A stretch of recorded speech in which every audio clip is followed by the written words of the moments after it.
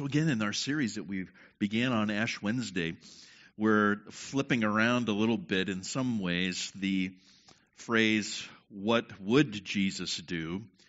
to say, What did Jesus do? So, we're going to spend a, hardly any time, probably zero time, on trying to figure out what would Jesus do.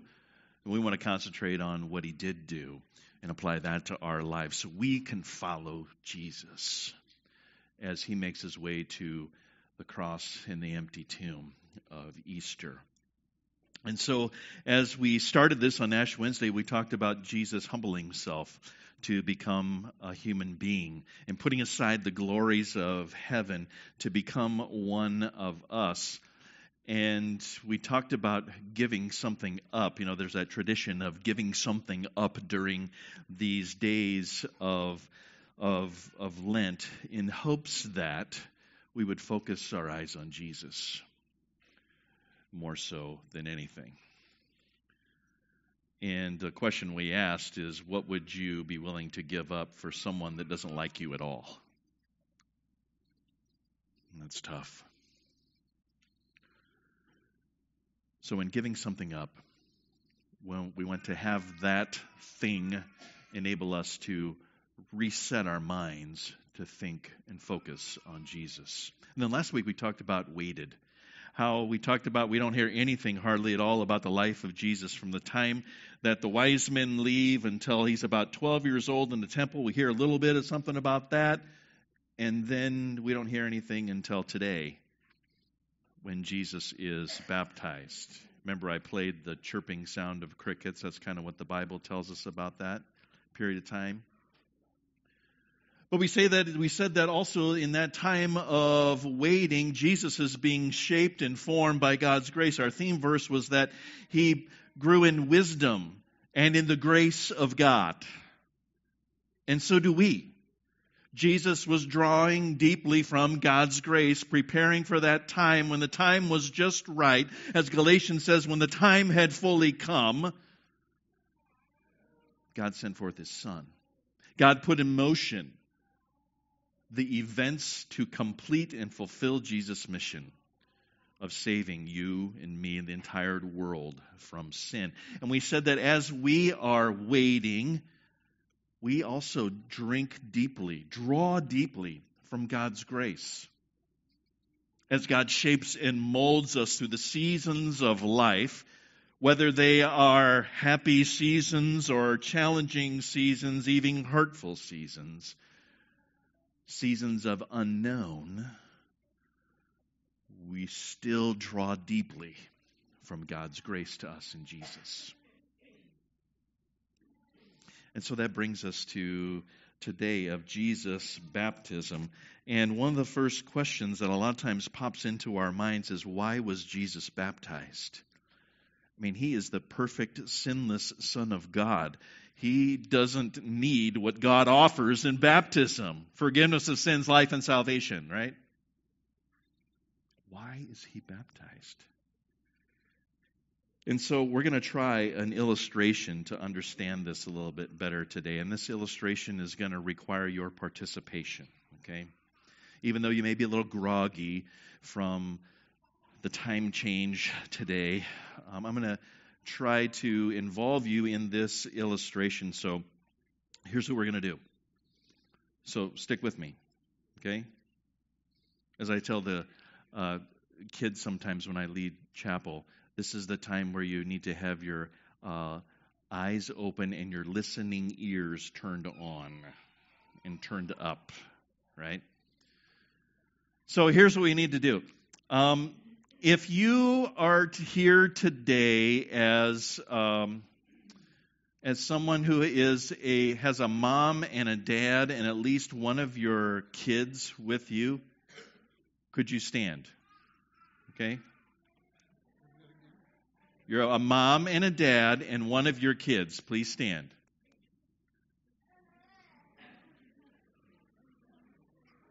Okay, this is good. This so far so good. All right. Now, here's what we're going to do. Okay. Here's what we're going to do. I've already identified you as having, uh, a family unit, right? Okay? So uh, here's what we're going to do. Now, all the dads, I have something for you to say, okay? Now, you don't have to say it individually, okay? This is all going to happen at once, okay? All right, here's what you're going to say This is my child whom I love. I'm pleased with them, okay? This is my child whom I love. I am pleased with them. Okay, dads, let's practice. Ready? This is my child whom I love. I'm pleased with them. And you can use their name if you'd like, okay? Okay, you got that, dads? All right, here we go. Moms. Moms. Moms, after dad finishes saying that, you are going to give your best impersonation of a cheerleader. You are going to go, here, here's some examples. You can go, woohoo, or hallelujah, yes. You can even jump up and down if you want, okay? Moms, oh, yeah, this is the time you embarrass your kid, right? So, moms, do you think you need to practice? I don't think you probably do. I think you got it down. Okay.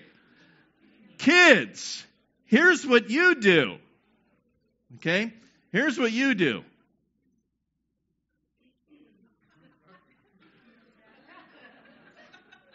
Okay, kids, let's all practice. Ready? Okay, there you go.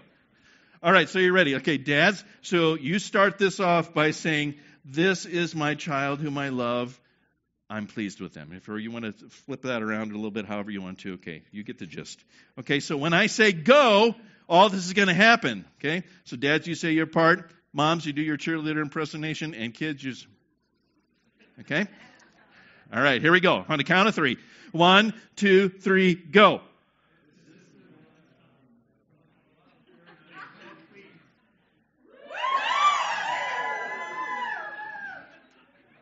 Awesome. Awesome. Okay, you can sit down. Give yourself a hand.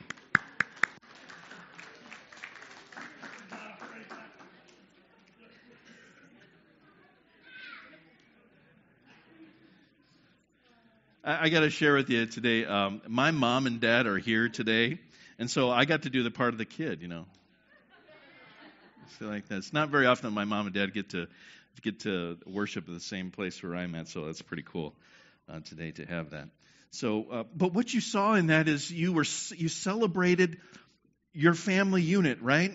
Moms and dads and kids, um, you celebrated the fact that God's given you this gift of of a child, and even in the imperfections that we all have and even that are in our children, you love them and you're pleased with them. And you're there to support and encourage them all throughout their life in whatever way you can. You move forward through life together. Through all of the ups and downs, or the hills and valleys, as the song says you know there's hills and valleys along the way. And there's a lot of there's a lot of strength and power in that family unit that i just thought of this now that rock of support right? Yeah. And so chapter 3 however i'm going to read to you the account from from uh, Matthew after I read this uh, theme verse one more time. When all the people were being baptized, Jesus was baptized too, and as he was praying, heaven was opened, and the Holy Spirit descended on him in bodily form like a dove, and a voice came from heaven You are my Son, whom I love. With you I am well pleased. Matthew, Matthew puts it this way. He says, Then Jesus came from Galilee to the Jordan to be baptized by John. But John tried to deter him, saying, I need to be baptized by you, and do you come to me? Jesus replied, Let it be so now. It is proper for us to do this to fulfill all righteousness. And then John consented. And as soon as Jesus was baptized, he went up out of the water. And at that moment, heaven was opened, and he saw the Spirit of God descending like a dove and alighting on him. And a voice from heaven said, This is my Son, whom I love. With him I am well pleased. You see, in this moment, we have, we have that unity of family in the Godhead right here. That, that mystery we call the Holy Trinity, of that mystery of faith that, that declares that our God is three persons, yet one God Father, Son, and Holy Spirit. No matter how you attempt to explain it or try to understand it, you can't. It's an article of faith. And yet, all three persons are present here as Jesus comes from the Jordan River that day and begins his ministry, his walk essentially to the cross and the empty tomb and the ascension.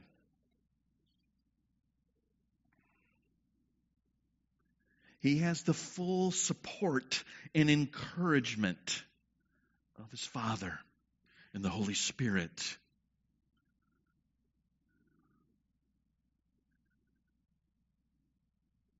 And you see, in that baptism, Jesus identifies with you and with me. Where Jesus connects himself to us. Right here at the water. When God's powerful word of promise is joined with that water, three times baptize you in the name of the Father and the Son and of the Holy Spirit you are made a part of God's family forever. God welcomes you as one who is a dearly loved child of His and connects you to the life, death, and resurrection of Jesus. God forgives you of all your sins, past, present, and future. God gives to you the gift of eternal life that God put his seal of approval on with the resurrection of his one and only Son. God promises to go with you through life, to walk by your side, to continue to lead you. Remember, I talked a few weeks ago about I like to have the picture of, of God or, or Jesus right a half step ahead of me, holding my hand, even though I'm trying to wiggle it away, he's still grabbing onto it and walking with me. Come on. Or even when I wiggle away and I go my own way and I, I fall off. Remember, I almost fell off a couple of weeks ago. Yeah. Nick would catch me.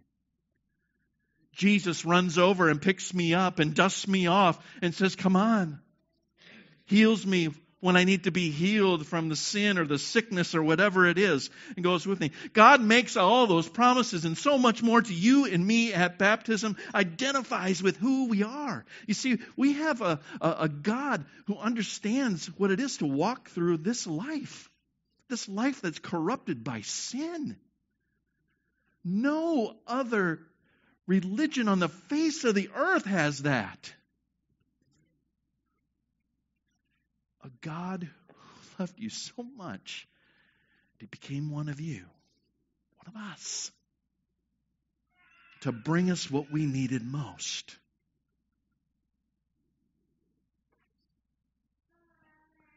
Baptism is God's connecting point to you and me for all time. He puts his mark on you. That's why in baptism, one of the first things we do is we say, Receive the sign of the cross upon your forehead and upon your heart that marks you always as one redeemed by Christ, the crucified and risen one. Awesome stuff. I like Luther's quote about baptism. He says this He says, There is no greater comfort than baptism because we need what it offers. Some Bible passages for you to mark down or remember about our need for baptism. Uh, we start with Psalm 51. For I was born a sinner, yes, from the very moment my mother conceived me. And Romans 6:23 says, "For the wages of sin is death." but yet God calls out to us in his gracious promise of life and, and salvation. In Titus chapter 3, he says,